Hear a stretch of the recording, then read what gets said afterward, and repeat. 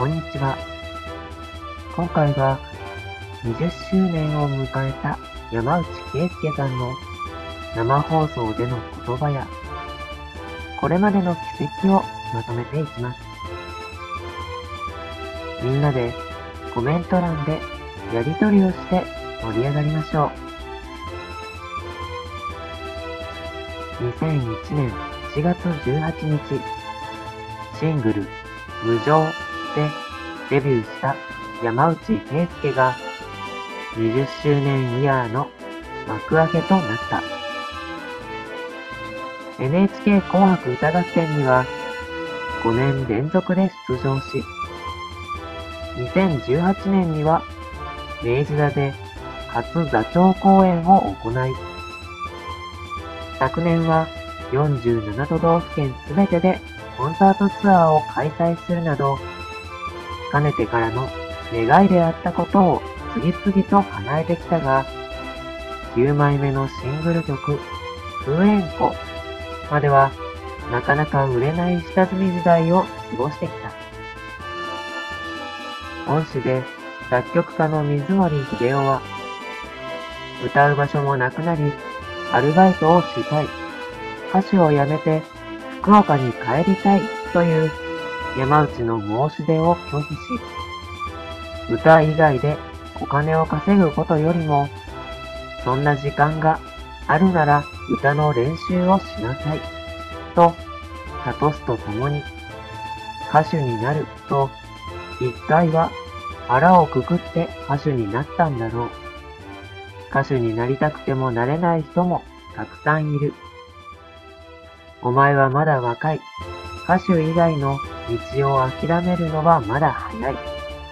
今は耐えろ。と説得したという。また大ヒットを飛ばして人気歌手になることを夢見ていた若い山内は、定例の忘年会や新年会の開催、出席や、水森文科生の不分裂とされるレッスン後に一緒に食事に行くことなどを疑問に思っていたというが、実際に伸び悩み、煮詰まった時に、多くの文科生と話すことで前向きな気持ちになり、まるで家族と接しているようなほっとした気持ちになった。と言い、家族との連絡も立っていた中で、大きな心の支えになることを実感したのだという。自身が売れない歌手時代を経験してきた水森は、実力がないと判断した門下生には、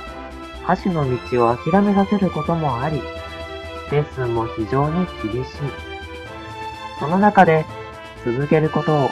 説得された山内の力は、水森にも高く評価されていたと言えよう。今では門下生に、あれだけ忙しい圭介を見習いなさい。圭介は、どんな時でも、俺のレッスンを休まない。と、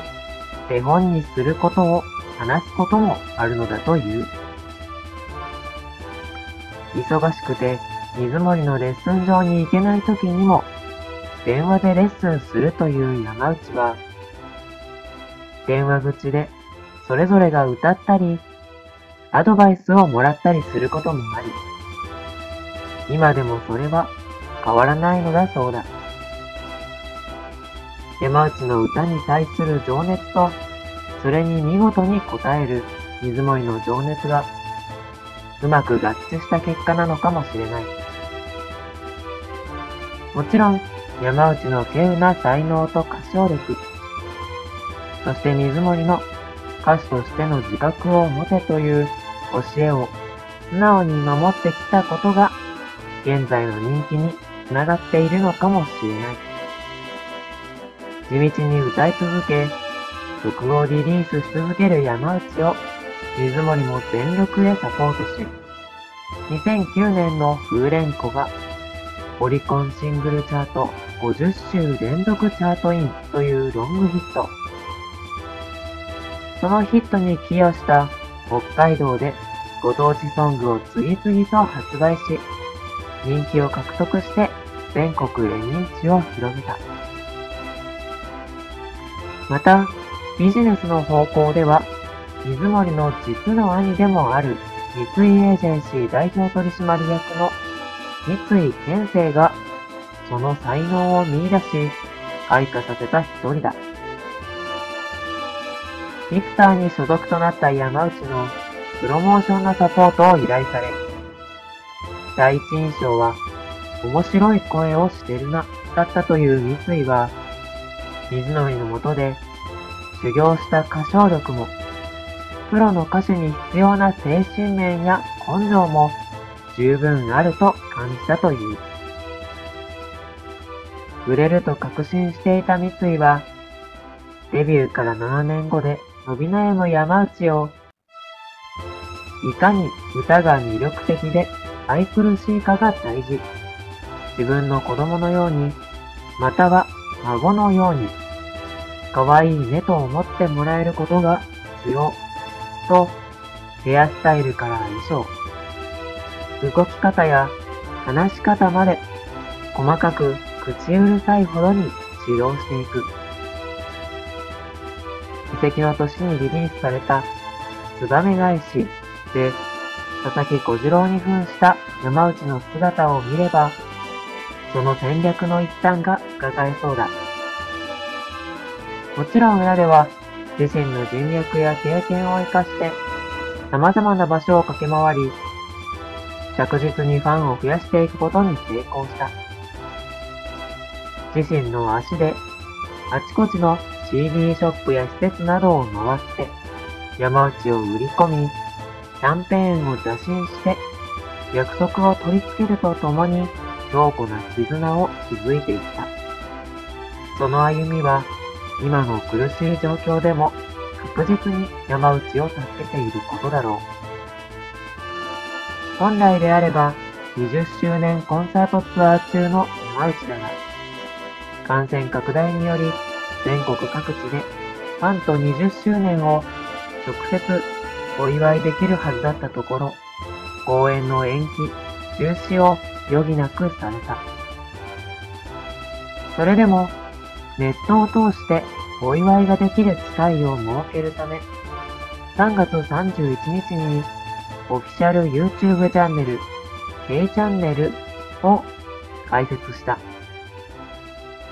未だにガラケーを使っているという山内だが、